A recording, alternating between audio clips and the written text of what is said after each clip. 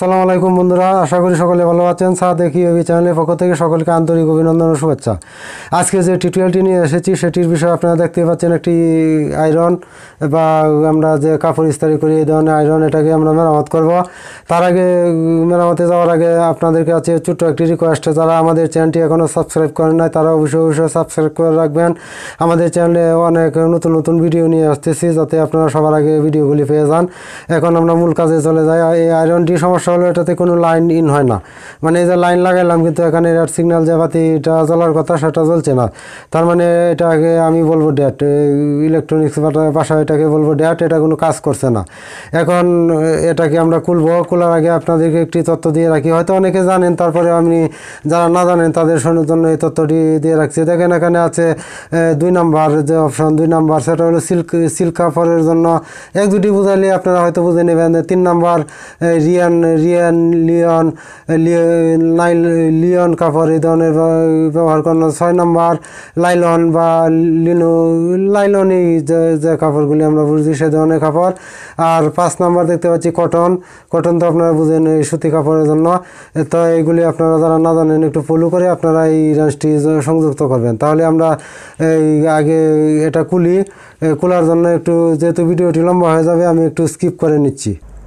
তো বন্ধুরা, যেহেতু আপনারা বাসা বাড়িতে তারা নিজেরা, নিজেদের কাজ নিয়ে যারা করবেন, তারা এটা কীভাবে খুলতে হয় সেটাও একটু জেনে রাখা ভালো। দেখেন আমি পেছনের পাটটা এভাবে এভাবে স্কুলগুলি খুলে নিচ্ছি। এইভাবে স্ক্রুগুলি আপনারা খুলে নেবেন। আপনারা বাড়িতে বসেই, আপনাদের নিজের নিজের বাসা বসেই এই কাজটি করতে পারবেন আশা করি। তাহলে আপনাদেরকে আর এই একটু একটু সামান্য এই ধরনের যেহেতু একটা সেন্সুর আছে ওভারলোড সেন্সর যেটা, তাপ নিয়ন্ত্রণ করে, সেটাই সাধারণত সমস্যা হয়। এখন আপনাদেরকে দেখাচ্ছি এই পার্টটা কীভাবে খুলতে হবে। এই পার্টটা একটি স্ক্রুড্রাইভার দিয়ে আপনারা একটি স্ক্রুড্রাইভার দিয়ে আপনারা করলেই খুলতে পারবেন। এইভাবে খুলে নেবেন। খুলে নেওয়ার পর দেখতে পাচ্ছেন দুটি স্ক্রু। এই স্কুগুলি খুলে নিলে এই সম্পূর্ণ স্তরটাই খুলে যাবে।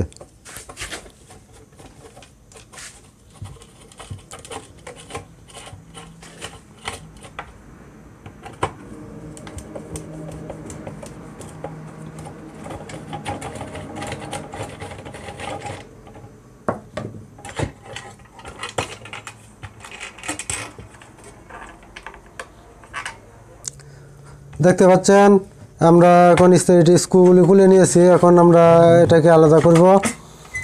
আলাদা করার পরে কীভাবে চেক করতে হবে সেটা দেখাবো। এখন একটি সিরিজ লাইন দিয়ে আমরা এই কয়েলটিকে চেক করিয়ে নেব। দেখুন, আমরা, এটা হলো ওভারলোড লাইন এটা হলো যে সেন্স- সেন্সরটা কাজ করে, এটা এই ওভারলোড সঠিক তাপমাত্রায় রাখে। আমাদের এখানে আর এখানে কয়েলটা চেক করতে হবে। আমি বিস্তা- বিস্তারিত বোঝাচ্ছি, কারণ যেহেতু আপনারা বাসা বাড়িতে যারা কাজ করেন মানে নিজের স্ত্রী নিজেই ঠিক করতে পারবেন, যার কারণে আমি এটাকে দেখিয়ে নিচ্ছি, এখানে এখানে শর্ট করে দেখবেন কয়েলটা ঠিক আছে কিনা। দেখুন বাল্বটি জ্বলে উঠছে। হ্যাঁ এই যে দেখুন বাল্বটি সিরিজ বাল্বটি জ্বলে উঠছে, তার মানে কয়েলটা ঠিক আছে কাজ করছে না।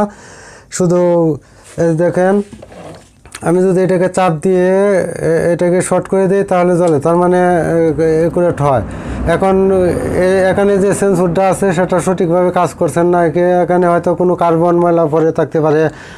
অথবা এখানে যে এই ধরনের একটা ইয়া দাতব পদার্থ থাকে যে, তারটা এটাকে দিয়ে সাধারণত এটা উপর নিচ হয়ে থাকে, এটাতে দিয়ে তাপ কন্ট্রোল করা হয়। যার কারণে আমরা এগুলি চেক করে দেখব এখন। দেখেন একটু বেঁকা হয়ে গেছে, যার কারণে এটা হতে পারে, এটা সোজা করে নিয়ে তারপর আবার দেখাচ্ছি কি হচ্ছে। প্রথমে আপনাদের যে কাজটি করতে হবে, এটাকে সিরিজ লাইনে লাগিয়ে নেবেন লাগিয়ে নিয়ে এটাকে চেক করবেন। দেখেন সিরিজ বাল্বটি জ্বলছে। সিরিজ বাল্বটি জ্বলছে, আপনারা নিশ্চয়ই বুঝতে পারছেন। আমি বাল্বটিকে একটু এদিকে এনে দেখাচ্ছি, সিরিজ বাল্বটি জ্বলছে। তার মানে লাইনটা ঠিক আছে তারপর যে জায়গাটা চেক করবেন এখানে এই কয়েলটা চেক করবেন, দেখুন জ্বলছে কয়েলটাও ঠিক আছে। তার মানে এখানে যে কন্ট্রাক্টটা আছে, এটা হয়তো নিচ্ছে না। এখানে যেহেতু নিচ্ছে না, তার কারণে আমি কন্ট্রাক্টটা অনেক সময় নিচ দিকে বেঁকে যায় একটু উপর দিকে হয়তো যদি মনে করেন যে বেঁকে গেছে, একটু উপর দিকে আপনারা অ্যাঙ্গেল করে নিতে পারেন। তারপর যে জিনিসটা করতে পারবেন, সেটা হলো এই যে দেখেন, এখানে অনেক সময় কার্বন পড়ে যায় কার্বন পড়ে যাওয়ার কারণে এটা হয় না। এটা আমরা কার্বনটি এইভাবে সাফ করে নিই। এটাতে শুধু কার্বনই পড়েছিল, অন্য কোনো সমস্যা নাই। আমরা কার্বনটি পরিষ্কার করে নিচ্ছি। তারপর দেখেন এই যে একটা স্ক্রু আছে, সেটা এখানে লাগিয়ে লাগানোর পর সঠিক তাপমাত্রার তাপমাত্রা নিয়ন্ত্রণের মাধ্যমে এই যে নাটটা দেখা যাচ্ছে, সেটা সেট করে নেওয়া যায়। তো আশা করি আপনারা ব্যাপারটা বুঝতে পারছেন। এখন আমরা এটাকে আবার লাগিয়ে নিই, লাগিয়ে নিয়ে তারপর আবার দেখি।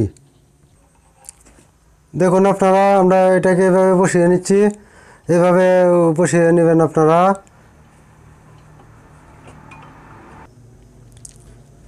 এখানে দেখতে পাচ্ছেন এখানে তিনটি তিনটি যে ভিতর থেকে তিনটি কন্ট্যাক্ট বের হয়ে এসেছে, সেগুলোতে তিনটিতে আমরা তিন ধরনের, দুই সাইডে অর্থাৎ যে সোর্স তারগুলি আমরা লাগিয়েছি, সেটা হলো দুই সাইডে দুই প্রান্তে দেখেন, দুই প্রান্তে দুইটি লাগিয়েছি।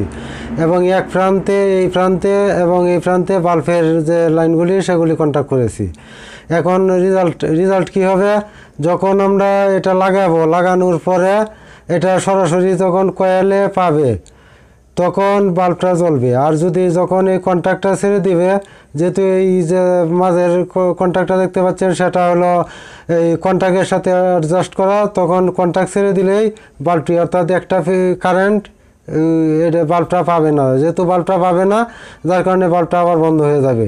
তাহলে এখন আপনারা একটু দেখেন, আমরা দেখিয়ে নিচ্ছি।